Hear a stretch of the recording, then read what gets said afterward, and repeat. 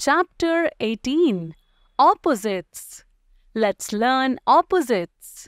Full, empty, day, night, black, white, fat, thin, tall, short, rich, poor, slow, fast, big, small.